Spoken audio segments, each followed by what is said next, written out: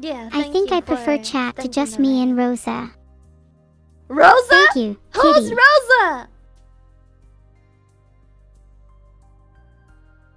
Well, she's a Twitch streamer who sometimes does collabs with me.